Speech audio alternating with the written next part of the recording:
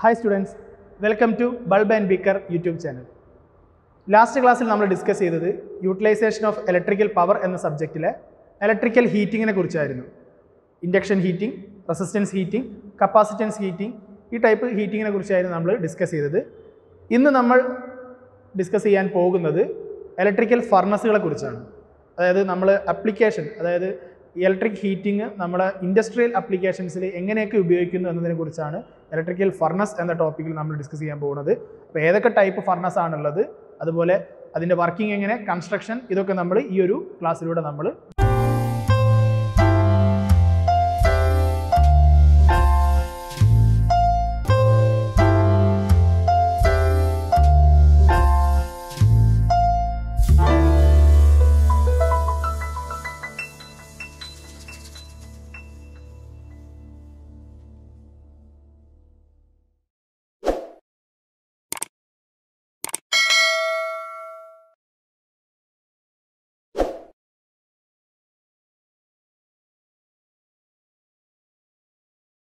Okay students അപ്പോൾ നമ്മളിന്ന് discuss ചെയ്യുന്നത് ഇലക്ട്രിക് ഫർണസുകളെ കുറിച്ചാണ്.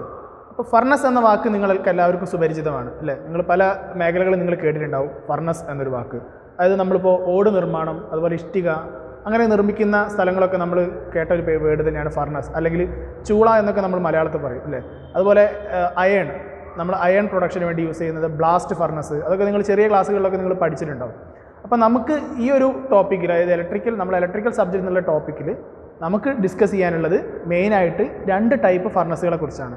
Okay അതിലൊന്നാമത്തത് electric arc furnace and second one electric induction furnace okay അപ്പോൾ ഇലക്ട്രിക് ആർക്ക് ഫർണസ് എന്ന് പറഞ്ഞാൽ ആ പേരിൽ തന്നെ നിങ്ങൾക്ക് മനസ്സിലാവും എന്ത് പ്രിൻസിപ്പിളാണ് അവിടെ നടക്കുന്നത് എന്നുള്ളത്. അതായത് electric arc electric arc produce ചെയ്തിട്ട് ആ ആർക്കിലൂടെയാണ് നമ്മൾ എന്ത് ചെയ്യുന്നത്? ഹീറ്റിംഗ് ഉണ്ടാക്കുന്നത്. ഓക്കെ അങ്ങനെ പ്രൊഡ്യൂസ് ചെയ്യുന്ന ഒരു ഫർണസിനാണ് നമ്മൾ ഇലക്ട്രിക് ആർക്ക് ഫർണസ് എന്ന് പറഞ്ഞു കഴിഞ്ഞാൽ second one electric induction furnace നമ്മൾ ആദ്യത്തെ ക്ലാസ്സിൽ തന്നെ നമ്മൾ പഠിച്ചതാണ് എന്താണ് ഇൻഡക്ഷൻ പ്രിൻസിപ്പിൾ എന്നൊക്കെ. ഇൻഡക്ഷൻ പ്രിൻസിപ്പിളിലൂടെ നമുക്ക് എങ്ങനെ ഇൻഡക്ഷൻ ഹീറ്റിംഗ് ഉണ്ടാവുന്നു എന്നൊക്കെ നമ്മൾ ഡിസ്കസ് ചെയ്തു.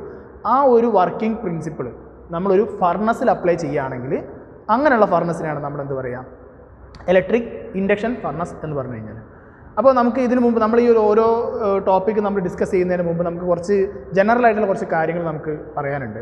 അതായത് ഈ ഫർണസുകൾ എന്ത് പ്രോസസ്സാണ് നടക്കുന്നത്? എങ്ങനെയാണ് ഒരു ഫർണസ് നമുക്ക് ഇൻഡസ്ട്രിയൽ ആപ്ലിക്കേഷൻ ഉപയോഗിക്കുന്നതെന്നൊക്കെ നമുക്കൊന്ന് നോക്കാം.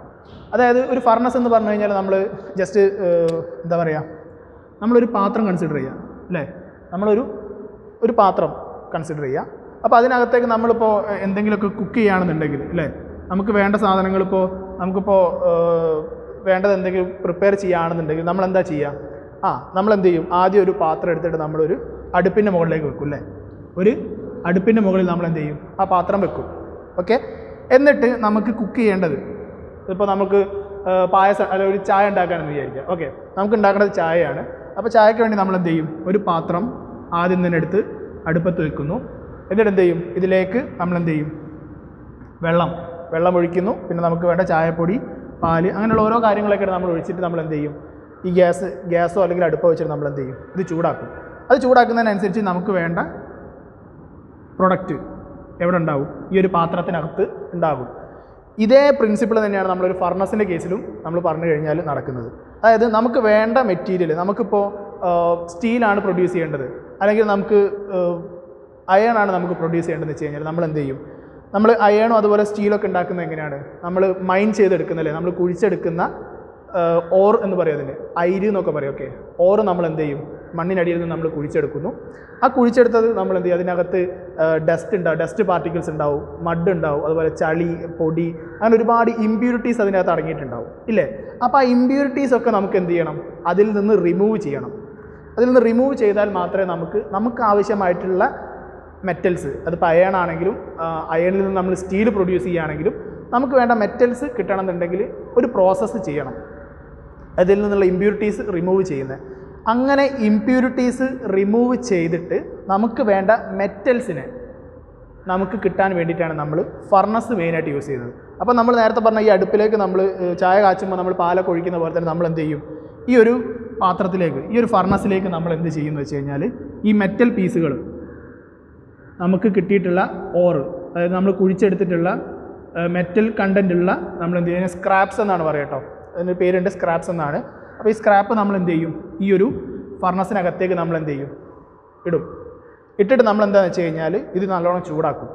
ഓക്കെ ഇത് നല്ലോണം ചൂടാക്കി കഴിഞ്ഞ് കഴിഞ്ഞാൽ ഇതിനകത്തുള്ള മെറ്റൽസ് എന്താവും? നമുക്കറിയാം ഒരു മെറ്റൽ നമ്മൾ ചൂടായി കഴിഞ്ഞാൽ എന്താ ചെയ്യുക ആ അത് ലിക്വിഡ് ഫോമിലേക്ക് മാറും. അല്ലേ? അതൊരു മോൾട്ടൺ സ്റ്റേജിലേക്ക് അല്ലെങ്കിൽ അതൊരു ലിക്വിഡ് ഫോമിലേക്ക് മാറും. അതൊരു മോൾട്ടൺ മെറ്റലായിട്ട് എന്ത് ചെയ്യും? അത് കൺവേർട്ട് ചെയ്യും. ചൂട് കൂടുമ്പോൾ നമ്മൾ ഉരുക എന്നൊക്കെ പറയില്ല അല്ലേ ആ അപ്പോൾ അങ്ങനെ ചൂട് കൂടി കൂടി കൂടിയിട്ട് ഇത് ഉരുകും. ഇത് ഉരുകി കഴിഞ്ഞാൽ പിന്നെ അതിനകത്ത് എന്തുണ്ടാവില്ല? മെറ്റലിന്റെ ഈ ഒരു സോളിഡ് പാർട്ട് പാർട്ട് ഒന്നും ഉണ്ടാവില്ല. അതെന്താവും? കംപ്ലീറ്റ് ആയിട്ട് ലിക്വിഡ് ഫോമിലേക്ക് മാറും. ഓക്കെ ലിക്വിഡ് ഫോമിലേക്ക് മാറും. എന്നിട്ട് ഈ ലിക്വിഡ് ഫോമിലേക്ക് മാറിക്കഴിഞ്ഞാൽ ഇതിന്റെ അകത്തുള്ള ഇമ്പ്യൂരിറ്റീസ് ഞാൻ പറഞ്ഞിട്ടുണ്ട് ഇതിനകത്ത് ഒരുപാട് ചളി അതുപോലെ പൊടി വേറെ നമുക്ക് ആവശ്യമില്ലാത്ത കാര്യങ്ങൾ ഒക്കെ ഉണ്ടാവും. ഓക്കെ അപ്പോൾ അതൊക്കെ എന്താ നടക്കുന്നത് വെച്ച് കഴിഞ്ഞാൽ ഈ ഒരു മോൾട്ടനായിട്ട് സ്റ്റേജിലേക്ക് മെറ്റൽ നമുക്ക് എന്ത് ചെയ്യും? താഴെ കിടക്കും. ഇതിന് മുകളിലായിട്ട് ചെറിയൊരു പാളി. ഓക്കെ? ചെറിയൊരു ലെയറായിട്ട് എന്ത് ഉണ്ടാവും നമ്മൾ ഈ പറഞ്ഞിട്ടുള്ള നമുക്ക് വേണ്ടാത്ത എന്താണ്? ഇമ്പ്യൂരിറ്റീസ് ഇമ്പ്യൂരിറ്റീസ് എവിടെ ഉണ്ടാവും? ഈ ഒരു ഫർണസിന്റെ ഏറ്റവും മുകളിലായിട്ട് എന്ത് ചെയ്യും? ഒരു പാട പോലെ. നമ്മൾ പറയുന്നത് പാലൊക്കെ നമ്മൾ കാച്ചി കഴിഞ്ഞാൽ മുകളിലുണ്ടാവില്ലേ? ഒരു പാട. ആ ആ പാട പോലെ മുകളിലുണ്ടാവും. ആ പാട നമ്മൾ എടുത്ത് മാറ്റി കഴിഞ്ഞാൽ നമുക്ക് എന്ത് കിട്ടും? നമുക്ക് ആവശ്യമായിട്ടുള്ള മെറ്റൽ നമുക്ക് ആവശ്യമായിട്ടുള്ള മെറ്റൽ ഈ ഫർണസിൽ നമുക്ക് കിട്ടും. അപ്പോൾ ഈ ഫർണസുകൾ നമ്മൾ ചെയ്യാൻ പോകുന്നത് ഈ ഒരു കാര്യം തന്നെയാണ്. നമുക്ക് വേണ്ട മെറ്റൽസിനെ നമ്മൾ എന്ത് ചെയ്യും? നല്ല ഹൈ ഹൈ ടെമ്പറേച്ചർ നല്ല ചൂടിൽ എന്താകും? അത് ഉരുക്കിയെടുത്തിട്ട് അതിനകത്തുള്ള ഇമ്പ്യൂരിറ്റീസിനെ നമ്മൾ റിമൂവ് ചെയ്യും. അതുപോലെ ബാക്കിയുള്ള മെറ്റൽ നമ്മൾ എടുക്കുന്നു. ഓക്കെ അപ്പോൾ ഈ രണ്ട് ഫർണസിനകത്തും ഇലക്ട്രിക്കൽ ആർക്ക് ഫർണസിലും ഇലക്ട്രിക്കൽ ഇൻഡക്ഷൻ ഫർണസിലും നമ്മൾ ചെയ്യാൻ പോകുന്നത് ഇതേ പ്രിൻസിപ്പിൾ തന്നെയാണ്. പക്ഷേ അത് ഇതേ സോറി ഇതേ പ്രോസസ്സ് തന്നെയാണ്. പക്ഷേ ചില ഡിഫറൻസ് ഉണ്ട്. കാരണം ഞാൻ നേരത്തെ പറഞ്ഞു നമ്മൾ അടുപ്പിൽ നമ്മൾ എന്ത് ചെയ്യും? താഴെ നമ്മൾ ഗ്യാസൊക്കെ വെച്ചിട്ടാണ് എന്ത് ചെയ്യുക ആ ഇത് ചൂടാക്കുക അല്ലേ? ആ ഒരു ഹീറ്റിങ്ങിലുള്ള ഒരു വ്യത്യാസം മാത്രമേ ഈ രണ്ട് ഫർണസിലുള്ളൂ നമ്മൾ ഹീറ്റ് എങ്ങനെയാണോ അപ്ലൈ ചെയ്യുന്നത് അതിലുള്ള ഒരു വ്യത്യാസം മാത്രമേ ഈ ഒരു ഈ രണ്ട് പ്രോസസ്സിലും ഉള്ളൂ. അപ്പോൾ അതെങ്ങനെയാണെന്നുള്ളത് നമുക്ക് അതിന്റെ ഡയഗ്രാം വെച്ചിട്ട് എക്സ്പ്ലെയിൻ ചെയ്യാം. ഓക്കെ സ്റ്റുഡൻസ് അപ്പോൾ ഇലക്ട്രിക് ആർക്ക് ഫർണസിന്റെ ഒരു ഡയഗ്രാം അവിടെ കൊടുത്തിട്ടുള്ളത്. അത് ഞാനൊരു ഫ്രീ ഹാൻഡ് ഡയഗ്രാം വരച്ചതാണ്. അപ്പോൾ നിങ്ങൾക്ക് കുറച്ചുകൂടെ അത് വ്യക്തമാകാൻ വേണ്ടിയിട്ട് സ്ലൈഡിൽ ആ ഒരു ഡയഗ്രാം കൊടുത്തിട്ടുണ്ട്. അപ്പോൾ നിങ്ങളത് നോക്കിയിട്ട് ഡയഗ്രാം കോപ്പി ചെയ്യാം. ഓക്കെ അപ്പോൾ ഇലക്ട്രിക് ആർക്ക് ഫർണസിനുള്ള കമ്പോണൻസ് എന്തൊക്കെയാണ് ആ ഒരു ആർക്ക് ഫർണസിൽ വേണ്ടതെന്നുള്ള കമ്പോണൻസ് ആണ് നിങ്ങൾ ഈ ഒരു ഫിഗറിൽ കാണുന്നത്. അപ്പോൾ നിങ്ങൾക്ക് കാണാം ഇവിടെ ഒരു മൂന്ന് ഗ്രാഫൈറ്റ് ഇലക്ട്രോഡ് കൊടുത്തിട്ടുണ്ട്. Graphite electrode. അത് എന്തിനാന്ന് വെച്ച് കഴിഞ്ഞാൽ ഈ ഗ്രാഫൈറ്റ് ഇലക്ട്രോഡിലൂടെയാണ് നമ്മൾ ഹൈ എമൗണ്ടിലുള്ള അല്ലെങ്കിൽ ഹൈ വോൾട്ടേജ് സപ്ലൈ നമ്മൾ കൊടുക്കുന്നത്. ഓക്കെ ഹൈ വോൾട്ടേജ് സപ്ലൈ കൊടുക്കുമ്പോൾ ഈ ഗ്രാഫൈറ്റ് ഇലക്ട്രോഡിൽ നമ്മൾ എന്ത് ചെയ്യും? ആർക്ക് പ്രൊഡ്യൂസ് ചെയ്യും? അതെങ്ങനെയാണ് പ്രൊഡ്യൂസ് ചെയ്യുന്നത് നമുക്ക് ഡിസ്കസ് ചെയ്യാം. അതുപോലെ തന്നെ റിഫ്രാക്ടറി ലൈനിങ് റിഫ്രാക്ടറി ലൈനിങ് എന്ന് പറഞ്ഞു കഴിഞ്ഞാൽ ഈ ഒരു ഫർണസിന്റെ എന്താണ്? വോളാണ് ഓക്കെ ഈ ഫർണസിന് നമ്മൾ മേക്ക് ചെയ്തിട്ടുള്ള അല്ലെങ്കിൽ മെയ്ഡ് ചെയ്തിട്ടുള്ള ആ ഒരു വോളിനെയാണ് നമ്മൾ റിഫ്രാക്ടറി ലൈനിങ് എന്ന് പറയുന്നത്. അത് അതിന്റെ ഹീറ്റ് ഇതിൽ പ്രൊഡ്യൂസ് ചെയ്യുന്ന ഹീറ്റിനെ താങ്ങുന്ന രീതിയിലൊക്കെ ആയിരിക്കും ഇതെന്ത് ചെയ്തിട്ടുണ്ടാവുക? ഈ ഒരു ഫർണസ് നമ്മൾ ഉണ്ടാക്കിയിട്ടുണ്ടാവുക. ഓക്കെ പിന്നെ എന്ന് പറഞ്ഞാൽ ഒരു സ്വിങ് ഡോറാണ് എന്ന് പറഞ്ഞാൽ ഈ ഫർണസിന് ഒന്ന് രണ്ട് ഡോറുകളുണ്ട് ഓക്കെ ഈ ഡോറിന്റെ മെയിനായിട്ടുള്ള ആവശ്യകത എന്താണെന്ന് വെച്ച് കഴിഞ്ഞാൽ നമ്മൾ ഈ ഒരു ഫർണസിൽ ഉണ്ടാക്കുന്ന അതായത് ഫർണസ് ഉപയോഗിച്ചിട്ട് നമ്മൾ ഉണ്ടാക്കുന്ന മെറ്റൽസും അതുപോലെ ഇമ്പ്യൂരിറ്റീസും അത് നമുക്ക് ഈ ഒരു ഫർണസ് നമുക്ക് പുറത്തേക്ക് എടുക്കണം അല്ലേ? നമുക്ക് ആവശ്യത്തിന് പുറത്തേക്ക് എടുക്കണ്ടേ? അപ്പോൾ അതിന് വേണ്ടിയിട്ടാണ് ഈ ഡോറുകളൊക്കെ. ഈ സ്വിംഗ് ഡോർ എന്ന് പറഞ്ഞു കഴിഞ്ഞാൽ ഇതിനകത്തുള്ള ഇംപ്യൂരിറ്റീസ് അതായത് ഇതിനകത്തുള്ള മാലിന്യം എന്നൊക്കെ നമ്മൾ പറയുന്നത് നമുക്ക് വേണ്ടാത്ത ആവശ്യമില്ലാത്ത വസ്തുക്കൾ പുറത്തേക്ക് എടുക്കാൻ വേണ്ടിയിട്ടാണ് സ്വിംഗ് ഡോറ് നമ്മൾ യൂസ് ചെയ്യുന്നത്. അതുപോലെ പ്യൂരിഫൈഡ് സ്റ്റീൽ നമുക്ക് കളക്ട് ചെയ്യാൻ വേണ്ടിയിട്ട് നമുക്ക് വേണ്ട ആവശ്യത്തിന് കളക്ട് ചെയ്യാൻ വേണ്ടിയിട്ട് ഒരു ഡോർ ഇവിടെ കൊടുത്തിട്ടുണ്ട്. അതാണ് ഇവിടെ പ്യൂരിഫൈഡ് സ്റ്റീൽ അതിന് വേണ്ടിയുള്ള ഡോറാണ് ഇവിടെ ഉള്ളത്. പിന്നീടുള്ളത് ഗ്യാപ്പ് ഫോർ എയർ അതായത് നമുക്ക് ഈ ഒരു പ്രോസസ്സിന് വേണ്ടിയിട്ട്. ഇപ്പോൾ നമ്മളിപ്പോൾ ഇവിടെ ഫോർ എക്സാമ്പിൾ നമ്മൾ സ്റ്റീലാണ് നമ്മൾ മേക്ക് ചെയ്യാൻ പോകുന്നത് വിചാരിക്കാം നമുക്ക് സ്റ്റീൽ അതായത് അയണും അതുപോലെ തന്നെ നമുക്ക് വേണ്ട ലൈം അത് ഒരുപാട് കണ്ടൻസ് യൂസ് ചെയ്തിട്ടാണ് നമ്മൾ എന്ത് ചെയ്യുന്നത്? സ്റ്റീൽ നമ്മൾ പ്രൊഡ്യൂസ് ചെയ്യുന്നത് അല്ലേ? അപ്പോൾ ഒരു സ്റ്റീലാണ് നമ്മളിവിടെ പ്രൊഡ്യൂസ് ചെയ്യുന്നുണ്ടെങ്കിൽ അല്ലെങ്കിൽ നമ്മൾ മേക്ക് ചെയ്യുന്നുണ്ടെങ്കിൽ അതിന് നമുക്ക് ഓക്സിജൻ മസ്റ്റാണ് ആ ഒരു പ്രോസസ്സിന് ഓക്സിജൻ നമുക്ക് നിർബന്ധമാണ്. അപ്പോൾ അത് ഓക്സിജൻ സപ്ലൈ ചെയ്യാൻ വേണ്ടിയിട്ട് നമുക്ക് എന്ത് വേണം? ആ ഒരു ഡോർ വേണം. അപ്പോൾ ആ ഡോറിലൂടെ നമ്മൾ എന്ത് ചെയ്യും? ഈ പ്രോസസ്സിന് ആവശ്യമായിട്ടുള്ള ഓക്സിജൻ നമ്മൾ കൊടുക്കും. ഓക്കെ ഓക്സിജൻ എയർ നമുക്ക് കൊടുക്കണം. അപ്പോൾ ഇതിന് ഇതൊക്കെയാണ് ഇതിന്റെ ഒരു അറേഞ്ച്മെന്റ് ഓക്കെ പിന്നെ ഇവിടെ താഴെ നിങ്ങൾക്ക് കാണാം കുറേ അല്ലേ? ഓരോ വട്ടത്തിൽ കുറേ വരച്ചിട്ടുണ്ട്. അത് ബോൾസ് ആണ്. അതായത് മെറ്റാലിക് ബോൾസ് ആണത്. അതെന്തിനാന്ന് വെച്ച് കഴിഞ്ഞാൽ ഈ ഒരു ഫർണസിനെ നമുക്ക് അങ്ങോട്ടും ഇങ്ങോട്ടും ഒന്ന് മൂവ് ചെയ്യാൻ വേണ്ടിയിട്ട് അതായത് ഇതിനകത്തുള്ള ഇപ്പോൾ ഇവിടെ കുറേ നമുക്ക് വേണ്ട മോൾട്ടൺ സ്റ്റീൽ ഉണ്ടായിട്ടുണ്ട്. അതിന്റെ മുകളിൽ ഇമ്പ്യൂരിറ്റീസ് ഉണ്ട്. അപ്പോൾ ആ ഇമ്പ്യൂരിറ്റീസിനെ നമുക്ക് ഇങ്ങോട്ട് മാറ്റണം. ഒഴിവാക്കണം എന്നുണ്ടെങ്കിൽ നമുക്ക് ഇങ്ങനെ ഒരു ഫർണസ് ഈ ഒരു രീതിയിൽ വെച്ചാൽ മാത്രമേ അത് അങ്ങോട്ട് ഒഴിവായി പോകും. ഇല്ലല്ലോ? ഈ ഒരു ഫർണസിന് നമുക്ക് എന്ത് ചെയ്യണം? ഒന്ന് ചരിച്ചു കൊടുക്കണം അല്ലേ?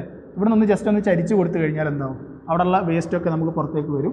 അതുപോലെ നേരെ ഓപ്പോസിറ്റ് ചരിച്ചു കൊടുത്താൽ നമുക്ക് വേണ്ട സ്റ്റീലൊക്കെ നമുക്ക് പുറത്തേക്കും കിട്ടാൻ വേണ്ടിയിട്ടാണ് ഈ ഒരു അറേഞ്ച്മെന്റ് കൊടുത്തിട്ടുള്ളത്. ചില ഫിഗേഴ്സിലൊന്നും ഇത് കണ്ടെന്ന് വരില്ല. അപ്പോൾ ഇത് നിങ്ങളത് നോട്ട് ചെയ്യുക എന്താണെങ്കിലും. കാരണം ഇതിന് വേണ്ടിയിട്ടാണ്. കാരണം നമുക്ക് ഇതിനുള്ളിലുള്ള നമുക്ക് ആവശ്യം ആയിട്ട് നമ്മൾ പ്രൊഡ്യൂസ് ചെയ്തിട്ടുള്ള മെറ്റീരിയൽസ് നമുക്ക് എന്ത് ചെയ്യാം? കളക്ട് ചെയ്യാൻ വേണ്ടിയിട്ടാണ് ഈ ഒരു അറേഞ്ച്മെന്റ് നമ്മൾ കൊടുത്തിട്ടുള്ളത്. ഓക്കെ ഇനി ഇതിന്റെ കൺസ്ട്രക്ഷൻ വൈസ് ഇത്രയാണ് നിങ്ങൾക്കുള്ളത്. കാണുമ്പോൾ വലിയൊരു ഫിഗർ ആയിട്ട് തോന്നും പക്ഷേ എന്താണ് നമുക്ക് പഠിച്ചു കഴിഞ്ഞാൽ വളരെ എളുപ്പത്തിൽ തന്നെ വരച്ചെടുക്കാവുന്നതേ ഉള്ളൂ. ഓക്കെ ഇനി നമുക്കിതിന്റെ വർക്കിംഗ് എങ്ങനെയാണെന്നുള്ളത് നോക്കാം. ഓക്കെ എങ്ങനെയാണ് ഇത് വർക്ക് ചെയ്യാൻ പോകുന്നതല്ല അത് വർക്കിംഗ് എങ്ങനെയാണെന്ന് പറയുന്നതിന് മുമ്പേ എന്താണ് ഇലക്ട്രിക് ആർക്ക് എന്നുള്ളത് നിങ്ങളൊന്ന് അറിഞ്ഞിരിക്കണം അല്ലേ? എങ്ങനെയാണ് ഇലക്ട്രിക് ആർക്ക് പ്രൊഡ്യൂസ് ചെയ്യുന്നത്? ആർക്ക് പ്രൊഡ്യൂസ് ചെയ്യുമ്പോൾ എങ്ങനെയാണ് അവിടെ ഹീറ്റ് ഉണ്ടാകുന്നതെന്നൊക്കെ നമുക്കൊന്ന് ചെറുങ്ങനെ ഡിസ്കസ് ചെയ്യാം. ഓക്കെ അതായത് ഈ ഇലക്ട്രിക്കൽ ആർക്ക് എന്ന് പറഞ്ഞു കഴിഞ്ഞാൽ നമ്മൾ രണ്ട് കണ്ടക്ടർ എടുക്കുക. നിങ്ങൾക്ക് കൂടുതൽ പറയേണ്ട ആവശ്യമില്ല കാരണം നിങ്ങൾ ഫസ്റ്റ് ഇയറിൽ വർക്ക്ഷോപ്പിലൊക്കെ നിങ്ങൾ വെൽഡിംഗ് ഒക്കെ ചെയ്തിട്ടുണ്ടാവും അല്ലേ? വർക്ക്ഷോപ്പിൽ വെൽഡിംഗ് ചെയ്തിട്ടുണ്ട്. അപ്പോൾ വെൽഡിംഗ് നിങ്ങൾ എന്താ ചെയ്യുന്നത്? ഒരു ഇലക്ട്രോഡിലേക്ക് ആ ഹൈ സപ്ലൈ കൊടുക്കുന്നു. ആ ഇലക്ട്രോഡ് നമുക്ക് വേണ്ട മെറ്റൽസ് ഇപ്പോൾ രണ്ട് മെറ്റൽ നമ്മൾ എന്ത് ചെയ്യാണ്? ജോയിൻ ചെയ്യാനാണ് നമ്മൾ വെൽഡിംഗ് യൂസ് ചെയ്യുന്നത് അല്ലേ? അപ്പോൾ ജോയിൻ ചെയ്യേണ്ട മെറ്റലിലേക്ക് നമ്മൾ എന്ത് ചെയ്യും? ആ ഇലക്ട്രോഡ് ടച്ച് ചെയ്യുന്നു. ടച്ച് ചെയ്യുമ്പോൾ തന്നെ എന്താണ്? ആ ഒരു ഹൈ എമൗണ്ട് ഹീറ്റ് ഉണ്ടാവുന്നു. ആ ഹീറ്റിൽ നമ്മൾ എന്ത് ചെയ്യും ആ മെറ്റൽ ഉരുകിയിട്ട് എന്ത് ചെയ്യും? അത് കമ്പൈൻ ചെയ്യുകയാണ് ചെയ്യുന്നത്. ഓക്കെ അതേ പ്രോസസ്സ് തന്നെയാണ് നമ്മൾ രണ്ടൊരു കണ്ടക്ടർ എടുത്തു കഴിഞ്ഞാൽ മറ്റൊരു ഒരു കണ്ടക്ടറിലേക്ക് നമ്മൾ സപ്ലൈ ഇലക്ട്രിക്കൽ സപ്ലൈ കൊടുത്താൽ എന്താ വെച്ച് കഴിഞ്ഞാൽ ഇതിലൂടെ ഒരു കറണ്ട് ഫ്ലോ ചെയ്യും അല്ലേ ഈ ഒരു കണ്ടക്ടറിലൂടെ കറണ്ട് ഫ്ലോ ചെയ്യും.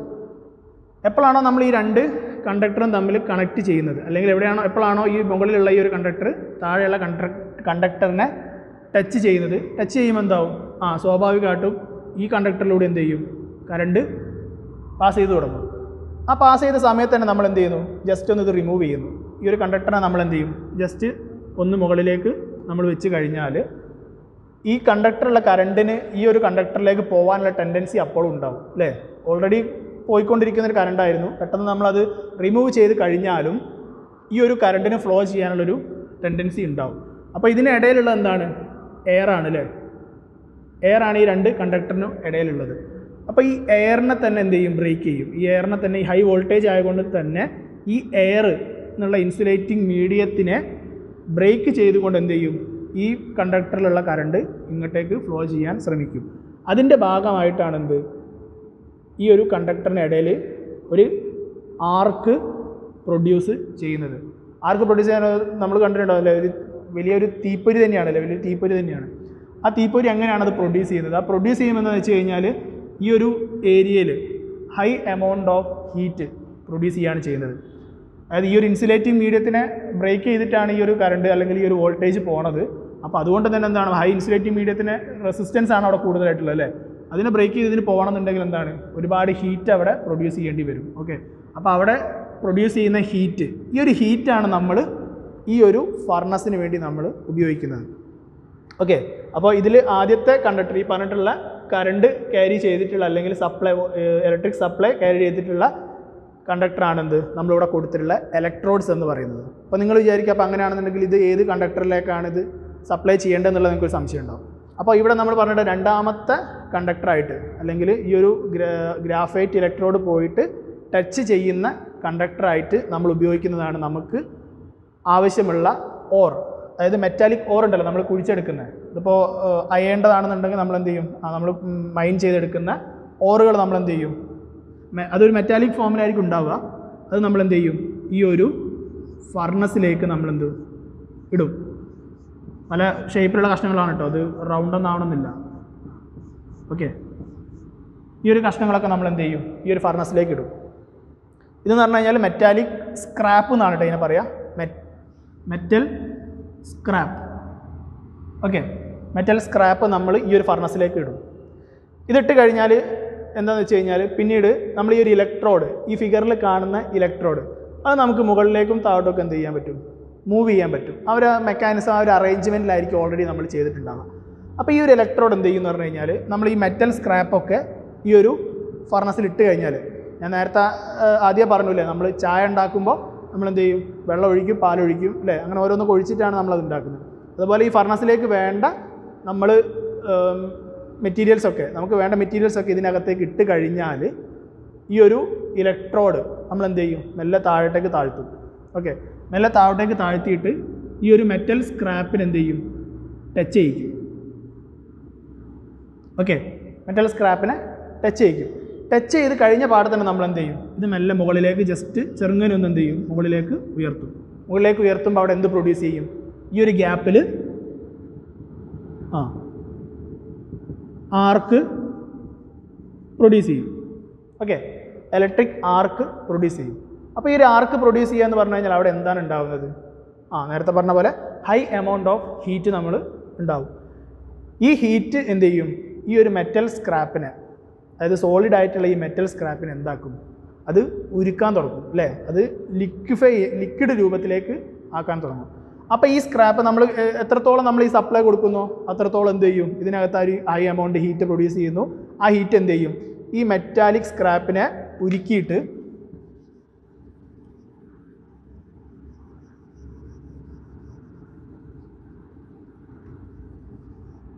മെറ്റാലിക് സ്ക്രാപ്പിനെ ഉരുക്കിയിട്ട് ഇത് ലിക്വിഡ് ഫോമിലേക്ക് മാറ്റും. അതിലൊരു മോൾട്ടൺ സ്റ്റേജിലേക്ക് മോൾട്ടൺ എന്നാണ് അതിന് പറയുക ഓക്കെ മെറ്റൽ സ്ക്രാപ്പ് എന്താവും? അതൊരു മോൾട്ടൺ മെറ്റലായിട്ട് മാറും.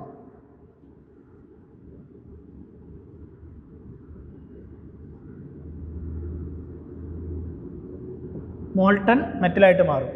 അപ്പോൾ നമ്മൾ നേരത്തെ പറഞ്ഞു ഈ സ്ക്രാപ്പിനകത്ത് ഒരുപാട് ഇമ്പ്യൂരിറ്റീസ് ഉണ്ടെന്നുണ്ട് അല്ലേ? നമുക്ക് ആവശ്യമില്ലാത്ത ഒരുപാട് ഇമ്പ്യൂരിറ്റീസ് ഉണ്ട്. ആ ഇമ്പ്യൂരിറ്റീസ് എന്ന് പറഞ്ഞു കഴിഞ്ഞാൽ ഇപ്പോൾ ചളി ചളി ഉണ്ടാവും പൊടി ഉണ്ടാവും മണ്ണുണ്ടാവും അങ്ങനെ ഒരുപാട് ഡസ്റ്റ് പാർട്ടിക്കിൾസ് അങ്ങനെ ഒരുപാട് സംഭവങ്ങൾ ഉണ്ടാവും. അപ്പോൾ അതിന്റെ പ്രത്യേകത എന്താണെന്ന് വെച്ച് കഴിഞ്ഞാൽ ഇപ്പോൾ നമ്മളൊരു കല്ലെടുത്തിട്ട് എത്ര ചൂടായി കഴിഞ്ഞാലും ആ കല്ലിന് എന്തെങ്കിലും മാറ്റം വരും. നിങ്ങളിപ്പോൾ തിളച്ച വെള്ളത്തിലേക്ക് എത്ര ഹൈ എമൗണ്ട് ഈറ്റ് കൊടുത്തു കഴിഞ്ഞാൽ ആ കല്ലിന് ഒരു മാറ്റം വരാൻ പോകുന്നില്ല അല്ലേ? പൊടി അതുപോലെ എത്ര ചൂടായി കഴിഞ്ഞാൽ അത് അതിന്റെ ഒരു ഫോർമേഷൻ മാറ്റം വരുന്നില്ല. അപ്പോൾ അതുകൊണ്ട് തന്നെ ഈ ഒരു ആർക്ക് പ്രൊഡ്യൂസ് ചെയ്യുന്നത് കൊണ്ട് ഈ ഒരു ലിക്വിഡ് രൂപത്തിലേക്ക് ആവുന്നത് നമ്മളെ ആവശ്യം നമുക്ക് ആവശ്യമായിട്ടുള്ള മെറ്റൽസ് മാത്രമായിരിക്കും എന്ത് ചെയ്യുന്നത്? ലിക്വിഡ് ഫോമിലേക്ക് മാറുന്നത്. അല്ലാത്ത ഡസ്റ്റ് അതുപോലെ മറ്റ് ഇമ്പ്യൂരിറ്റീസ് ഒക്കെ എന്താണെന്ന് വെച്ച് കഴിഞ്ഞാൽ അതിന് യാതൊരു മാറ്റവും സംഭവിക്കില്ല അത് ഈ ഒരു മോൾട്ടൻ മെറ്റലിന് മുകളിലായിട്ട് എന്ത് ചെയ്യും? ഒരു ലെയറായിട്ട് നമ്മൾ പാട പോലെ എന്നൊക്കെ പറയില്ല? അപ്പോൾ പാലൊക്കെ നമ്മൾ കാച്ചി കഴിഞ്ഞ് കഴിഞ്ഞാൽ എന്താണ്? ആ ലാസ്റ്റ് അതിന്റെ സർഫസിൽ എന്ത് ഒരു പാട പോലെ വന്ന് നിൽക്കും അല്ലേ? അപ്പോൾ അത് നമുക്ക് വേണ്ട ചില ഉപയോഗിക്കുന്നുണ്ടാവും അല്ലെങ്കിൽ അത് വേണ്ടാത്തവരുണ്ടാവും. വേണ്ടാത്തവരുണ്ടെങ്കിൽ എന്ത് ചെയ്താൽ മതി? ആ മുകളിലുള്ള ആ ഒരു പാളി നമ്മൾ എന്ത് ചെയ്യും? എടുത്ത് മാറ്റുകയാണ് ചെയ്യുക അല്ലേ? അപ്പോൾ നമുക്ക് വേണ്ടാത്ത ഒരു പാളിയാണ് ഇവിടെ വന്നിട്ടുള്ളത് അല്ലെങ്കിൽ ഒരു ലെയറാണ് ഇവിടെ വന്നിട്ടുള്ളത്. ഇതിനെയാണ് നമ്മൾ എന്ത് പറയുക? സ്ലാഗ് എന്ന് പറയുക ഓക്കെ നമുക്ക് വേണ്ടാത്ത മെറ്റീരിയൽ അതിന് നമ്മൾ സ്ലാഗ് എന്നാണ് വിളിക്കുന്നത്. ഈ സ്ലാഗ് നമുക്ക് എന്ത് ചെയ്യണം? ഈ ഒരു ഫർണസിൽ നിന്ന് റിമൂവ് ചെയ്ത് കഴിഞ്ഞാൽ നമുക്ക് ആവശ്യമായിട്ടുള്ള മോൾട്ടൻ മെറ്റൽ ഈ ഫർണസിലുണ്ടാവും അത് നമ്മൾ വേറൊരു പാത്രത്തിലേക്കോ മറ്റെന്തെങ്കിലും ഒരു ഡിവൈസിലേക്ക് നമുക്ക് മാറ്റി കഴിഞ്ഞ് കഴിഞ്ഞാൽ നമുക്ക് ആവശ്യമായിട്ടുള്ള മെറ്റൽ കിട്ടും. ഓക്കെ. അപ്പോൾ ഈ കിട്ടിയിട്ടുള്ള മോൾട്ടൻ സ്റ്റീൽ അതുപോലെ തന്നെ ഇതിന്റെ മുകളിലുള്ള ഈ ഒരു ഇമ്പ്യൂരിറ്റീസിന്റെ സ്ലാഗും നമുക്ക് എന്ത് ചെയ്യണം? ഈ ഒരു സർഫസ് ഈ ഒരു ഫർണസിൽ നിന്ന് നമുക്ക് എന്ത് ചെയ്യണം? റിമൂവ് ചെയ്യണം. അത് റിമൂവ് ചെയ്യാനാണ് നമുക്ക് എന്ത് നേരത്തെ പറഞ്ഞിട്ടുള്ള സ്വിങ് ഡോറും അതുപോലെ തന്നെ പ്യൂരിഫൈഡ് സ്റ്റീൽ റിമൂവ് ചെയ്യാനുള്ള ഡോറും നമുക്ക് വേണ്ടത്. അപ്പോൾ ഈ ഒരു ഇമ്പ്യൂരിറ്റി ഈ ഒരു സ്ലാഗ് നമുക്ക് റിമൂവ് ചെയ്യാൻ നമ്മൾ എന്താ ചെയ്യേണ്ടതെന്ന് വെച്ച് കഴിഞ്ഞാൽ ഈ ഒരു ഫർണസിന്റെ മൊത്തത്തിൽ ഓക്കെ ഈ ഒരു ഫർണസിന്റെ മൊത്തത്തിൽ എന്ത് ചെയ്യും? ഈ ഒരു ഭാഗത്തേക്കായിട്ട് നമ്മൾ ചരിക്കും. ഈ ഒരു ഫർണസിന് എന്ത് ചെയ്യുക ഇങ്ങനെ ചരിച്ചു കൊടുക്കാം. അപ്പോൾ ചരിച്ചു കൊടുക്കുമ്പോൾ സ്വാഭാവികമായിട്ട് ഈ ഒരു ഡോർ വഴി എന്താണ്? ഈ മുകൾ ഭാഗത്തുള്ള ഈ ഇമ്പ്യൂരിറ്റീസ് എന്ത് വരും? താഴോട്ടേക്ക് അല്ലെങ്കിൽ പുറത്തേക്ക് എന്ത് ചെയ്യും? നമുക്ക് എടുക്കാൻ സാധിക്കും. ഓക്കെ അപ്പോൾ മുഴുവനായിട്ടുള്ള ഒന്ന് ചരിച്ചു കൊടുത്താൽ നിങ്ങൾക്കറിയാം മുകൾ ഭാഗത്തുള്ളതെല്ലാം ആദ്യം പുറത്തേക്ക് ഒഴുകി വരിക. അപ്പോൾ മുകൾ ഭാഗത്തുള്ള ഇമ്പ്യൂരിറ്റീസ് ഒക്കെ എന്ത് ചെയ്യും? പുറത്തേക്ക് ഒഴുകി വന്നിട്ട് നമ്മൾ എന്ത് ചെയ്യും? അതിനെ ഒഴിവാക്കും. റിമൂവ് ചെയ്യും. അത് റിമൂവ് ചെയ്ത് കഴിഞ്ഞാൽ ബാക്കി എന്തേ ഉണ്ടാവുള്ളൂ? ഈ ഒരു ഫിഗറിൽ നമുക്ക് ആവശ്യമായിട്ടുള്ള മെറ്റൽ മെറ്റൽ മാത്രമേ ഈ ഒരു ഫിഗറിൽ ഉണ്ടാവുള്ളൂ. സോറി ഈ ഒരു ഫിഗർ ഈ ഒരു ഫർണസിൽ ഉണ്ടാവുള്ളൂ. അപ്പോൾ നമുക്ക് ആവശ്യമായിട്ടുള്ള ഈ മെറ്റൽ എന്ത് ചെയ്യും? നമ്മൾ പ്യൂരിഫൈഡ് സ്റ്റീൽ ഇപ്പോൾ നേരത്തെ പറഞ്ഞു ഞാനിവിടെ സ്റ്റീലാണ് ഇവിടെ മേക്ക് ചെയ്തിട്ടുള്ളത്. അതുകൊണ്ടാണ് പ്യൂരിഫൈഡ് സ്റ്റീൽ എന്ന് കൊടുത്തിട്ടുള്ളത്. അല്ലെങ്കിൽ പ്യൂരിഫൈഡ് മെറ്റൽ എന്നായിക്കോട്ടെ പ്യൂരിഫൈഡ് മെറ്റൽ ഈ പ്യൂരിഫൈഡ് മെറ്റൽ നമ്മൾ എന്ത് ചെയ്യും? അത് മറ്റൊരു പാത്രത്തിലേക്ക് നമ്മൾ എന്ത് ചെയ്യും? കളക്ട് ചെയ്ത് വെക്കും. ഓക്കെ അപ്പോൾ ഈ ഒരു പ്രോസസ്സിലൂടെയാണ് നമ്മൾ എന്ത് ചെയ്യുന്നത്? നമുക്ക് വേണ്ട മെറ്റലിനെ നമ്മൾ പ്യൂരിഫൈ ചെയ്ത് എടുക്കുന്നത്. പിന്നെ ആ മോൾട്ടൺ മെറ്റൽ നമ്മൾ എന്ത് ചെയ്യും അത് വീണ്ടും നമ്മൾ ചൂടാറി കഴിഞ്ഞ് കഴിഞ്ഞാൽ എന്താവും? അത് വീണ്ടും ആ ഒരു സോളിഡ് സ്റ്റേജിലേക്ക് മാറ്റും. നമുക്ക് ആവശ്യമുള്ള ആവശ്യം നമുക്ക് ആവശ്യമുള്ള അപ്ലിക്കേഷൻ അനുസരിച്ചിട്ട് എന്ത് ചെയ്യാം? അത് യൂസ് ചെയ്യാൻ പറ്റും. ഓക്കെ അപ്പോൾ ഇത്രയാണ് ഇലക്ട്രിക് ആർക്ക് ഫർണസിന്റെ വർക്കിംഗ് പ്രിൻസിപ്പിൾ എന്ന് പറയുന്നത്. വളരെ ഷോർട്ടായിട്ട് ഒന്നുകൂടെ പറയാം. നമുക്ക് വേണ്ട മെറ്റൽസ് നമ്മൾ എന്ത് ചെയ്യും? ഈ ഒരു ഫർണസിലേക്ക് നമ്മളിടും. ഇട്ട് കഴിഞ്ഞാൽ ഈ ഒരു ഗ്രാഫൈറ്റ് റോഡ് പതുക്കെ താഴോട്ട് താഴ്ത്തും. താഴ്ത്തിയിട്ട് ഹൈ സപ്ലൈ കൊടുക്കും. ഹൈ സപ്ലൈ കൊടുക്കുമ്പോൾ എന്താണ്? ആർക്ക് പ്രൊഡ്യൂസ് ചെയ്യും. ആർക്ക് ഹീറ്റ് പ്രൊഡ്യൂസ് ചെയ്യും. ആ ഹീറ്റ് യൂസ് ചെയ്തിട്ട് ഈ സോളിഡ് ആയിട്ടുള്ള മെറ്റൽ എന്താവും? മെറ്റൽ ഇമ്പ്യൂരിറ്റീസ് അടങ്ങിയിട്ടുള്ള ആ ഓർ എന്ത് ചെയ്യും? മെറ്റാലിക് ഓറ് മെൽറ്റ് ചെയ്യാൻ തുടങ്ങും. അത് ആയി കഴിഞ്ഞ് കഴിഞ്ഞാൽ ഇതിന്റെ മുകളിലായിട്ട് ഇമ്പ്യൂരിറ്റീസ് നമുക്ക് വേണ്ടാത്ത ഇമ്പ്യൂരിറ്റീസ് ഇതിന് മുകളിലായിട്ട് എന്ത് ചെയ്യും? അലോക്കേറ്റ് ചെയ്യും. ഈ ചെയ്തിട്ടുള്ള ഇമ്പ്യൂരിറ്റീസിനെ നമ്മൾ റിമൂവ് ചെയ്ത് കഴിഞ്ഞാൽ നമുക്ക് ആവശ്യമായിട്ടുള്ള മോൾട്ടൺ മെറ്റൽ ഈ ഒരു ഫർണസിൽ ബാക്കിയായിട്ടുണ്ടാകും ഓക്കെ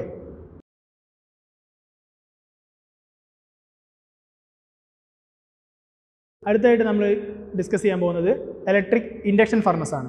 നേരത്തെ നമ്മൾ ഇലക്ട്രിക് ആർക്ക് ഫർണസ് എന്താണെന്ന് പഠിച്ചു. ഇനി ഇലക്ട്രിക് ഇൻഡക്ഷൻ ഫർണസ് ആണ്.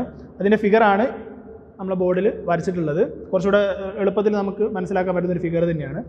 അപ്പോൾ ഇതിനകത്തുള്ള കമ്പോണൻസ് എന്തൊക്കെയാണ് നമുക്ക് നോക്കാം. ഓക്കെ ആദ്യമായിട്ട് ഒരു ഫയർ ബ്രിക്കിന്റെ ഒരു ബേസ്മെന്റ് ഈ ഒരു ഫർണസിന് വേണ്ടി നമ്മൾ കൊടുത്തിട്ടുണ്ട്. പിന്നെ അതുപോലെ ക്രൂസിബിൾ അതായത് നമുക്ക് വേണ്ട മെറ്റൽസ് ഒക്കെ നമുക്ക് ഇടാനായിട്ടുള്ള നമുക്ക് ഏത് മെറ്റലാണോ നമുക്ക് എക്സ്ട്രാക്ട് ചെയ്തെടുക്കേണ്ടത് ആ ഒരു മെറ്റൽ ഇടാനായിട്ട് നമ്മൾ എന്ത് ചെയ്തിട്ടുണ്ട്? ഒരു ക്രൂസിബിൾ നമ്മൾ കൊടുത്തിട്ടുണ്ട്. ക്രൂസിബിൾ മീൻസ് നമ്മൾ പറയും എന്താണ്? പാത്രം. ഒരു വലിയ പാത്രം എന്നുള്ള ഒരു മീനിങ് തന്നെയാണ് ക്രൂസിബിളിന് ഓക്കെ പിന്നെ കോപ്പർ കോയിൽ കൊടുത്തിട്ടുണ്ട്. കാരണം ഇൻഡക്ഷൻ പ്രിൻസിപ്പിൾ യൂസ് ചെയ്തിട്ടാണ് ഈ ഒരു ഫർണസ് വർക്ക് ചെയ്യുന്നത്. അപ്പോൾ അതിന് നമുക്ക് എന്ത് വേണം? കോപ്പർ കോയിൽ ആവശ്യമായിട്ടുണ്ട്. അപ്പോൾ കോപ്പർ കോയിൽ കൊടുത്തിട്ടുണ്ട്. ഇതിന്റെ ഒരു ക്രോസ് സെക്ഷൻ വ്യൂ ആണിത്. ഇത് ശരിക്കും പറഞ്ഞു കഴിഞ്ഞാൽ നമ്മൾ ത്രീ ഡിയിൽ നമ്മൾ ചെയ്യാന്ന് വെച്ച് കഴിഞ്ഞാൽ ഒരു ഒരു സർക്കുലർ ഷേപ്പിലുള്ള എന്താണ് ഒരു അറേഞ്ച്മെന്റാണുള്ളത് അതിന് ചുറ്റുമാണ് എന്ത്? ഈ ഒരു കോപ്പർ കോയിൽ നമ്മളെ ഈ ഒരു ക്രൂസിബിളിന് ചുറ്റുമായിട്ട് നമ്മൾ എന്ത് ചെയ്യും? കോപ്പർ കോയിൽ ഇങ്ങനെ വൈൻഡ് ചെയ്തിട്ടുണ്ടാവും. ഓക്കെ അപ്പോൾ നിങ്ങൾ മനസ്സിലതൊന്ന് കാണും ഓക്കെ വരയ്ക്കുമ്പോൾ നമുക്ക് ഒരു ടു ഡി ഫിഗറെ വരയ്ക്കാൻ പറ്റുള്ളൂ. ത്രീ ഡി ആയിട്ട് കാണുമ്പോൾ എന്താണ്? ഈ കോയിൽ ഇങ്ങനെ ഈ ഒരു ക്രൂസിബിളിന് ചുറ്റുമായിട്ട് നമ്മൾ എന്ത് ചെയ്തിട്ടുണ്ട്? വൈൻഡ് ചെയ്ത് വെച്ചിട്ടുണ്ട്. ഓക്കെ പിന്നെ അതുപോലെ ഈ ഒരു ക്രൂസിബിളിനും അതുപോലെ തന്നെ ഈ ഒരു കോപ്പർ കോയിലിനും ഇടയിലായിട്ടുള്ളൊരു സ്പേസിൽ നമ്മൾ എന്താണ് സാൻഡൊക്കെ നമ്മൾ ഫില്ല് ചെയ്തിട്ടുണ്ട്. അതാണ് അതിന്റെ ടെമ്പറേച്ചർ. ഓക്കെ നമുക്ക് ഈ ഇൻസുലേറ്റിംഗ് മെറ്റീരിയൽ അവിടെ കൊടുക്കുന്നുണ്ട് അതിന് ഇടയിലായിട്ടില്ല കാരണം അത് അതിന്റെ സേഫ്റ്റിക്ക് വേണ്ടിയിട്ടാണ് അത് കൊടുത്തിട്ടുള്ളത്. ഓക്കെ. പിന്നെ ഒരു സ്പോട്ട് നമുക്ക് ആവശ്യമായിട്ടുള്ള മെറ്റൽസ്. അതായത് നമ്മുടെ മെറ്റൽ പീസുകൾ അതൊക്കെ നമുക്ക് ഇതിനകത്തേക്ക് ഇടാനും അതുപോലെ തന്നെ ഇതിന്റെ വർക്കിംഗ് കഴിഞ്ഞ് കഴിഞ്ഞാൽ ഇതിന്റെ പ്രോസസ്സ് കഴിഞ്ഞ് കഴിഞ്ഞാൽ കിട്ടുന്ന മോൾട്ടൺ മെറ്റലിനെ നമുക്ക് പുറത്തേക്ക് എടുക്കാനൊക്കെ ആയിട്ട് നമുക്ക് എന്തുണ്ട്? ഒരു ഡോറ് ഒരു ഡോർ ഒരു ഓപ്പണിംഗ് ഉണ്ട്. ഒരു സ്പോട്ട് നമ്മൾ കൊടുത്തിട്ടുണ്ട്. ഓക്കെ ഇതൊക്കെയാണ് ഇതിന്റെ കമ്പോണൻസ് ആയിട്ട് പറയാനുള്ളത്. അപ്പോൾ ഇതിന്റെ വർക്കിംഗ് വർക്കിംഗ് പ്രിൻസിപ്പിൾ പറയുമ്പോൾ നമ്മൾ ഇവിടെ ഈ ഒരു പോയിന്റിനാണ് നമ്മൾ മാർക്ക് ചെയ്യേണ്ടത്. ഇൻഡക്ഷൻ പ്രിൻസിപ്പിളാണ് നമ്മളിവിടെ ഹീറ്റിങ്ങിനായിട്ട് ഉപയോഗിക്കുന്നത്. നമ്മൾ ഫസ്റ്റ് ക്ലാസ്സിൽ നമ്മൾ ഡിസ്കസ് ചെയ്തതാണ് എന്താണ് ഇൻഡക്ഷൻ ഹീറ്റിംഗ് എങ്ങനെയാണ് പ്രൊഡ്യൂസ് ചെയ്യുന്നത് എന്നുള്ളത്. ഓക്കെ നമുക്ക് ഓർമ്മ ഉണ്ടാവില്ല ഒരു കോറിന് ചുറ്റും നമ്മൾ എന്ത് ചെയ്യുന്നു? ഒരു കോപ്പർ ഒരു കോറിന് ചുറ്റും നമ്മൾ എന്ത് ചെയ്യും? ഒരു കോപ്പർ വൈൻഡ് ചെയ്തിട്ടുണ്ടാവും. ആ- ഒരു കണ്ടക്ടറിലേക്ക് നമ്മൾ എന്ത് ചെയ്യുന്നു? ഒരു high voltage A C supply കൊടുക്കുന്നു. ആ എ സി സപ്ലൈ കൊടുത്തു കഴിഞ്ഞാൽ ഈ കണ്ടക്ടറിലൂടെ കറണ്ട് പാസ് ചെയ്യുമ്പോൾ ഇവിടെ എന്തുണ്ടാവും? ഒരു മാഗ്നറ്റിക് ഫീൽഡ് ക്രിയേറ്റ് ചെയ്യുന്നു. ആ magnetic field changing magnetic field ആയതുകൊണ്ട് തന്നെ എന്താണ്? ഇവിടെ ഒരു ഇ എം എഫ് ഇൻഡ്യൂസ് ചെയ്യുന്നു. നമ്മൾ Faraday's electromagnetic induction law ഒക്കെ നിങ്ങൾ പഠിച്ചതാണ്. അത് പ്രകാരം ഒരു ഇ എം എഫ് പ്രൊഡ്യൂസ് ചെയ്യുന്നു. ഓക്കെ അപ്പോൾ അങ്ങനെ ഒരു ഇ എം എഫ് പ്രൊഡ്യൂസ് ചെയ്യുമ്പോൾ ഈ ഒരു കോറിനകത്ത് എന്താണ് ഉണ്ടാകുന്നത്? അങ്ങനെ ഒരു ഇ എം എഫ് പ്രൊഡ്യൂസ് ചെയ്ത് കഴിഞ്ഞാൽ ഈ ഒരു കോറിനകത്ത് ഒരു എഡ്ഡി കറണ്ട് എഡ്ഡി കറണ്ട് എന്ത് ചെയ്യും? പ്രൊഡ്യൂസ് ചെയ്യും. ആ ഒരു എഡ്ഡി കറണ്ടാണ് നമുക്ക് എന്തുണ്ടാക്കുന്നത്? നമുക്ക് ആവശ്യമായിട്ടുള്ള ഹീറ്റ് പ്രൊഡ്യൂസ് ചെയ്യുന്നത്. ഓക്കെ അതേ കൺസെപ്റ്റ് തന്നെയാണ് ഇവിടെ ഉള്ളത്. നമ്മൾ ഈ ഒരു കോപ്പർ കോയിൽ നമ്മൾ എന്ത് ചെയ്തിട്ടുണ്ട്? ഈ ഒരു ക്രൂസിബിളിന് ചുറ്റായിട്ട് നമ്മൾ എന്ത് ചെയ്തിട്ടുണ്ട്? വൈൻഡ് ചെയ്ത് വെച്ചിട്ടുണ്ട്. അപ്പോൾ നമ്മൾ ഈ ഒരു കോപ്പർ കോയിലിലേക്കാണ് നമ്മൾ എന്ത് കൊടുക്കുന്നത്? സപ്ലൈ കൊടുക്കുന്നത്. ഓക്കെ ഈ ഒരു സപ്ലൈ ഇവിടെ കൊടുക്കുന്ന പോലെ തന്നെ നമ്മൾ ഈ ഒരു കോപ്പർ കോയിലിലേക്ക് നമ്മൾ എന്ത് ചെയ്യുന്നു? സപ്ലൈ കൊടുക്കുന്നു. സപ്ലൈ കൊടുത്തു കഴിഞ്ഞാൽ എന്താണ്? ഡ്യൂ ടു ഇൻഡക്ഷൻ എന്താണ് ഇവിടെ ഒരു ഹീറ്റ് പ്രൊഡ്യൂസ് ചെയ്യാണ് ചെയ്യുന്നത്. ആ ഹീറ്റ് ഉപയോഗിച്ചിട്ടാണ് നമ്മൾ എന്ത് ചെയ്യുന്നത്? ഈ ഒരു ക്രൂസിബിളിന് അകത്തുള്ള നമുക്ക് ആവശ്യമായിട്ടുള്ള മെറ്റൽസ് അപ്പോൾ നമ്മൾ എന്താണ്? മെറ്റൽ ബ്ലോക്സ് നമ്മൾ നേരത്തെ ആർക്ക് ഫർണസ് പറഞ്ഞ അതേ പ്രോസസ്സ് തന്നെയാണ് ഇവിടെ നടക്കുന്നത്. പ്രോസസ്സ് സെയിം തന്നെയാണ്. കാരണം നമുക്ക് വേണ്ട മെറ്റൽ സ്ക്രാപ്പ് നമ്മൾ എന്ത് ചെയ്യും? ഈ ഒരു മെറ്റൽ സ്ക്രാപ്പ് മെറ്റൽ സ്ക്രാപ്പ് നമ്മൾ എന്ത് ചെയ്യും? ഈ ഒരു ഫർണസിലേക്ക് നമ്മൾ എന്ത് ചെയ്തിട്ടുണ്ടാവും? ഇട്ടിട്ടുണ്ടാവും. ഇട്ട് കഴിഞ്ഞാൽ ഇവിടെ നടക്കുന്നത് എന്താ വെച്ച് കഴിഞ്ഞാൽ നമ്മൾ ഈ ഒരു ഫർണസിലേക്ക് ഈ ഒരു മെറ്റൽ സ്ക്രാപ്പ് ഇട്ട് കഴിഞ്ഞാൽ നമ്മൾ ഈ കോയിൽ ഈ കോപ്പർ കോയിലിലേക്ക് നമ്മൾ എന്ത് ചെയ്യും? സപ്ലൈ കൊടുക്കും. ഓക്കെ അങ്ങനെ സപ്ലൈ കൊടുത്തു കഴിഞ്ഞാൽ ഈ ഒരു കോപ്പറിലൂടെ ഒരു ഹൈ ഫ്രീക്വൻസി അതുപോലെ ഹൈ വോൾട്ടേജ് ഉള്ളൊരു സപ്ലൈ ഒരു എ സി സപ്ലൈ തന്നെയാണ് നമ്മൾ കൊടുക്കുന്നത്. എ സി സപ്ലൈ നമ്മൾ കൊടുത്തു കഴിഞ്ഞാൽ എന്താ സംഭവിക്കുന്നത്? ആ ഈ ഒരു കോപ്പർ കോയിലിന് ചുറ്റും എന്തുണ്ടാവും? ഒരു മാഗ്നറ്റിക് ഫീൽഡ് എന്ത് ചെയ്യും? ക്രിയേറ്റ് ചെയ്യും. ഓക്കെ അപ്പോൾ രണ്ട് സൈഡിലുണ്ടല്ലോ അപ്പോൾ രണ്ട് സൈഡിൽ എന്ത് ചെയ്യും? ഒരു മാഗ്നറ്റിക് ഫീൽഡ് ക്രിയേറ്റ് ചെയ്യും. അപ്പോൾ ഇങ്ങനെ ക്രിയേറ്റ് ചെയ്യുന്ന മാഗ്നറ്റിക് ഫീൽഡിന്റെ ഒരു പ്രത്യേകത എന്താണ്? അത് ചേഞ്ചിങ് മാഗ്നറ്റിക് ഫീൽഡ് ആയിരിക്കും അല്ലേ? എ സി ആണ് നമ്മൾ കൊടുക്കുന്നത് അപ്പോൾ ചേഞ്ചിങ് മാഗ്നറ്റിക് ഫീൽഡ് ആയിരിക്കും പ്രൊഡ്യൂസ് ചെയ്യുന്നത്. അപ്പോൾ ഇങ്ങനെ ഒരു മാഗ്നറ്റിക് ഫീൽഡിന്റെ ഉള്ളിലാണ് എന്തുള്ളത്? നമ്മൾ ഇട്ടിട്ടുള്ള മെറ്റൽ സ്ക്രാപ്സ് ഉള്ളത്. ഓക്കെ ഈ മെറ്റൽ സ്ക്രാപ്പ് എവിടെയാണുള്ളത്? ഈ ഒരു ചേഞ്ചിങ് മാഗ്നറ്റിക് ഫീൽഡിന്റെ ഉള്ളിലാണ് ഈ ഒരു മെറ്റൽ സ്ക്രാപ്പ് ഉള്ളത്. അപ്പോൾ നമുക്കറിയാം എന്താണ്? ഒരു magnetic field changing magnetic field എന്താണ്? ഡ്യൂ ടു ഇൻഡക്ഷൻ ഒരു കറണ്ട് അല്ല ഒരു വോൾട്ടേജ് ക്രിയേറ്റ് ചെയ്യുന്നുണ്ട് അല്ലേ? ആ വോൾട്ടേജ് എവിടെയാണ് ക്രിയേറ്റ് ആവുന്നത്? ഈ ഒരു മെറ്റൽ സ്ക്രാപ്പിലാണ് എന്ത് ചെയ്യുന്നത്? ആ ഒരു വോൾട്ടേജ് ഇൻഡ്യൂസ് ചെയ്യുന്നത്. അപ്പോൾ അങ്ങനെ വോൾട്ടേജിന്റെ വോൾട്ടേജ് കൂടെ തന്നെ എന്ത് ചെയ്യും? ഒരു കറണ്ടും പ്രൊഡ്യൂസ് ചെയ്യുന്നു. ആ കറണ്ടിനെ നമ്മൾ എന്ത് കറണ്ട് എന്നാണ് വിളിച്ചത്? നേരത്തെ എഡ്ഡി കറണ്ടാണ് അല്ലേ? അപ്പോൾ എഡ്ഡി കറണ്ട് ഈ മെറ്റൽ പീസിലൂടെ എന്ത് ചെയ്യും? പാസ് ചെയ്ത് തുടങ്ങും. അപ്പോൾ എഡ്ഡി കറണ്ട് പാസ് ചെയ്ത് കഴിഞ്ഞാൽ അവിടെ എന്ത് പ്രൊഡ്യൂസ് ചെയ്യുന്നു? ഹീറ്റ് പ്രൊഡ്യൂസ് ചെയ്യുന്നു. അപ്പോൾ ആ ഒരു ഹീറ്റ് ഉപയോഗിച്ചിട്ട് എന്താവുന്നു? ഈ മെറ്റൽ എന്താണ്? ഈ മെറ്റൽ ആ ഒരു ഹീറ്റ് വെച്ചിട്ട് അത് മെൽറ്റ് ചെയ്യാൻ തുടങ്ങുന്നു. ഓക്കെ അത് ഉരുകി എന്താ? ലിക്വിഡ് ഫോമിലേക്ക് മാറുന്നു. അതൊരു ലിക്വിഡ് ഫോമിലേക്കാണ് പിന്നീട് അത് ചേഞ്ച് ആവുന്നത്. ഓക്കെ അത് മോൾട്ടൺ മെറ്റലായിട്ട് മാറുന്നു. Molten metal. ഓക്കെ നമ്മൾ ഇൻഡക്ഷൻ ഹീറ്റിങ്ങിൽ പറഞ്ഞ അതേപോലെ തന്നെ ഇൻഡക്ഷൻ ഹീറ്റിങ്ങിന് നമ്മൾ പറഞ്ഞത് ഒരു മെറ്റാലിക് കോറായിരുന്നു ഉണ്ടായിരുന്നില്ല അതിന് പകരം ഇവിടെ എന്താണ്? നമ്മൾ ഈ ഒരു ഫർണസിലേക്ക് ഇട്ടിട്ടുള്ള മെറ്റാലിക് പീസുകളാണ് നമുക്ക് ആവശ്യമായിട്ടുള്ള നമുക്ക് എന്താണ് എക്സ്ട്രാക്ട് ചെയ്തെടുക്കേണ്ട മെറ്റൽ ആ മെറ്റൽ അടങ്ങിയിട്ടുള്ള കുറേ സ്ക്രാപ്പുകളാണ് നമ്മൾ എന്ത് ചെയ്യുന്നത് ഇവിടെ ഒരു ചാ ഈ ഒരു കോറിന് പകരം നമ്മൾ ഇതിലിട്ടിട്ടുള്ള സ്ക്രാപ്പുകളാണ് നമുക്ക് എന്ത് ചെയ്യുന്നത്? എഡ്ഡി കറണ്ട് പ്രൊഡ്യൂസ് ചെയ്യുന്നത്. ആ എഡ്ഡി കറണ്ട് യൂസ് ചെയ്തിട്ടാണ് എന്ത്? ഇവിടെ ഹീറ്റ് പ്രൊഡ്യൂസ് ചെയ്യുന്നത്. ആ ഹീറ്റ് ആണ് ഈ മെറ്റലിനെ മെൽറ്റ് ചെയ്യിച്ചിട്ട് നമുക്ക് ആവശ്യമായിട്ടുള്ള മോൾട്ടൺ മെറ്റലാക്കിയിട്ട് പ്യൂരിഫൈഡ് ഫോം ഓഫ് മെൽ എന്താണ് മെറ്റൽ നമുക്ക് കിട്ടുന്നത്. കിട്ടിക്കഴിഞ്ഞാൽ നേരത്തെ പറഞ്ഞ പോലെ തന്നെ എന്താണ്? ഇതിന് മുകളിലായിട്ട് നമുക്ക് വേണ്ടാത്ത ആവശ്യമില്ലാത്ത ഇമ്പ്യൂരിറ്റീസ് എന്ത് ചെയ്യും? ഒരു ലെയറായിട്ട് വന്നു നിന്നിട്ടുണ്ടാവും. പിന്നെ നമുക്ക് ആർക്ക് ഫർണസ് പറഞ്ഞ പോലെ തന്നെ എന്ത് ചെയ്യും? ഈ ഒരു നമുക്ക് വേണ്ടാത്ത ഈ ഒരു സ്ലാഗ് നമ്മൾ എന്ത് ചെയ്യും? എടുത്ത് ഒഴിവാക്കും. നമുക്ക് വേണ്ട മെറ്റൽ എവിടെ ഉണ്ടാവും. ഈ ഒരു ഫർണസിനകത്ത് ഉണ്ടാവും. ഓക്കെ ഇതിലാകെ നമ്മൾ ഇലക്ട്രിക് ആർക്ക് ഫർണസ് വെച്ച് നോക്കുമ്പോൾ ആകെ ഒരു വ്യത്യാസം നമുക്ക് പറയാനുള്ളത് എന്താ വെച്ച് കഴിഞ്ഞാൽ ഇവിടെ നമ്മൾ ഇലക്ട്രോഡ്സ് യൂസ് ചെയ്യുന്നില്ല. അല്ലേ? നേരത്തെ കേസിൽ എന്തായിരുന്നു? ഇലക്ട്രോഡ് യൂസ് ചെയ്തിട്ട് ആർക്കായിരുന്നു ഹീറ്റ് പ്രൊഡ്യൂസ് ചെയ്തത്? പക്ഷേ ഇവിടുത്തെ കേസിൽ എന്താണ്? ഇവിടുത്തെ കേസിൽ നമ്മൾ ഉപയോഗിക്കുന്നത് കോപ്പർ കോയിൽസ് ആണ്. കോപ്പർ കോയിൽസ് ഇൻഡക്ഷൻ പ്രിൻസിപ്പിളിലൂടെ ഇൻഡക്ഷൻ പ്രിൻസിപ്പിളിലൂടെയാണ് ഇവിടെ ഒരു എഡ്ഡി കറണ്ട് ഫോം ചെയ്യുന്നത്. ആ എഡ്ഡി കറണ്ടാണ് ഇവിടെ എന്ത് ചെയ്യുന്നത്? ഹീറ്റ് പ്രൊഡ്യൂസ് ചെയ്യുന്നത്. ആ ഹീറ്റ് ഉപയോഗിച്ചിട്ടാണ് നമ്മൾ എന്ത് ചെയ്യുന്നത്? ഈ പ്രോസസ്സ് കണ്ടിന്യൂ ചെയ്യുന്നത്. ഓക്കെ അപ്പോൾ നമുക്ക് നേരത്തെ കൊടുത്തിട്ടുള്ള ആർക്ക് ഫർണസും ഇതുമായിട്ട് നമുക്ക് കമ്പയർ ചെയ്യുമ്പോൾ കുറച്ചുകൂടെ നമുക്ക് എന്താണ് എളുപ്പത്തിൽ വർക്കിംഗ് മാത്രമല്ല നമുക്ക് എളുപ്പത്തിലൊരു വളരെ എളുപ്പത്തിൽ നമുക്കൊരു പ്രോസസ്സായിട്ട് നമുക്ക് ഒരു ഇൻഡക്ഷൻ ഫർണസ് നമുക്ക് കാണാം. കാരണം നേരത്തെ പോലെ ഈ ഗ്രാഫൈറ്റ് റോഡിന്റെയൊക്കെ പ്രശ്നം എന്താണെന്ന് വെച്ച് കഴിഞ്ഞാൽ നിങ്ങൾ വെൽഡിങ് ചെയ്യുമ്പോൾ ശ്രദ്ധിച്ചിട്ടുണ്ടാവും അല്ലേ? ആ അതിങ്ങനെ ചെയ്തുകൊണ്ടിരിക്കും എന്താണ്? അത് കത്തി തീർന്നുകൊണ്ടേ ഇരിക്കും അല്ലേ? ഒരു ഇലക്ട്രോഡ് യൂസ് ചെയ്ത് കഴിഞ്ഞാൽ അത് പിന്നീട് പിന്നീട് നമുക്ക് എന്ത് ചെയ്യണം? അത് റീപ്ലേസ് ചെയ്തുകൊണ്ടേ ഇരിക്കണം ഓരോ പ്രോസസ്സ് കഴിയുന്നതിനനുസരിച്ചിട്ട്. പക്ഷേ ഇവിടെ അങ്ങനത്തെ പ്രശ്നങ്ങളൊന്നും വരുന്നില്ല. നേരത്തെ പറഞ്ഞ ഗ്രാഫൈറ്റ് ഇലക്ട്രോഡൊക്കെ അതിനെക്കൊണ്ട് അതിന്റെ ചിലപ്പോൾ അതിനുള്ള കോപ്പറിന്റെ കണ്ടന്റൊക്കെ ഉണ്ടാവും. ഓക്കെ ആ കോപ്പർ കണ്ടന്റ് ഈ മെറ്റലൊക്കെ ആയിട്ട് റിയാക്ഷനൊക്കെ വരാൻ ചാൻസ് ഉണ്ട്. അപ്പോൾ കുറച്ചുകൂടെ പ്യൂരിറ്റി പ്യൂരിറ്റി കുറഞ്ഞിട്ടുള്ള മെറ്റൽസ് ആയിരിക്കും നമുക്ക് എന്ത് ചെയ്യുക ആർക്ക് ഫർണസ് ഒക്കെ യൂസ് ചെയ്യുമ്പോൾ നമുക്ക് കിട്ടുക. പക്ഷേ ഇവിടെ ഇൻഡക്ഷൻ ഫർണസ് ആയതിനെ കൊണ്ട് ഇവിടെ എന്താണ്? അങ്ങനെ കാർബണിന്റെ എമൗണ്ട് ഒന്നും വരുന്നില്ല. കാരണം ഇൻഡക്ഷനിലൂടെയാണ് ഹീറ്റ് വരുന്നത്. പിന്നെ അതുപോലെ നമുക്ക് എന്ത് ചെയ്യാൻ പറ്റും? ഈ ഒരു സപ്ലൈ നമുക്ക് അഡ്ജസ്റ്റ് ചെയ്ത് കഴിഞ്ഞാൽ നമുക്ക് എത്ര വേണമെങ്കിലും ഇതിന്റെ ടെമ്പറേച്ചർ ഈ പ്രൊഡ്യൂസ് ചെയ്യുന്ന ഹീറ്റിന്റെ വാല്യൂ നമുക്ക് എന്ത് ചെയ്യാം? അതായത് ഇൻഡക്ഷൻ ഹീറ്റിംഗ് പറഞ്ഞിട്ടുള്ള അതേ അഡ്വാന്റേജ് തന്നെ നമുക്ക് എന്തിലുണ്ട്? ഒരു ഇൻഡക്ഷൻ ഫർണസിൽ നമുക്ക് കൊണ്ടുവരാൻ സാധിക്കും. ഇലക്ട്രിക്കൽ ഇൻഡക്ഷൻ ഫർണസ് ആണ് കൂടുതലായിട്ടും ഉപയോഗിക്കുന്നത് അപ്ലിക്കേഷൻ ലെവലിൽ കൂടുതലായിട്ട് ഉപയോഗിക്കുന്നത് ഇപ്പോൾ ഇലക്ട്രിക് ഫർണസിൽ ഇൻഡക്ഷൻ ഫർണസ് ആണെന്നുള്ള ഒരു പോയിന്റ് കൂടെ നിങ്ങൾ നോട്ട് ചെയ്ത് വെക്കുക.